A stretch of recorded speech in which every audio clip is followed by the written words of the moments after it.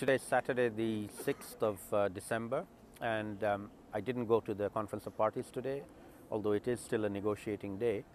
Um, I was in another site in the Lima Country Club where IIED has organized with partners this year, CDKN, ODI, and the Red Cross, our regular two-day event at the COP, which we call Development and Climate Days, which we always hold in the middle weekend on the Saturday, Sunday. Today was the first day of the two days. It went very well. We had some very high level and provocative statements from the co-chair of the two IPCC groups, Working Group 2 and Working Group 3, uh, Dr. Chris Field and uh, Youba Sokona.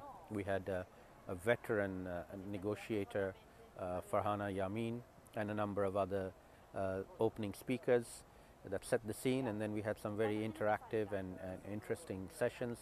We had one from an artist, um, Tomas who has made a uh, an art sculpture, he calls it, although it looks like a balloon, um, from waste paper bags, uh, sorry, plastic bags that would normally be discarded or have been discarded and then are uh, recycled and put together into a, a massive balloon, which you can actually get into, and it gets uh, heated up by the sun's rays and uh, is a solar powered uh, art sculpture.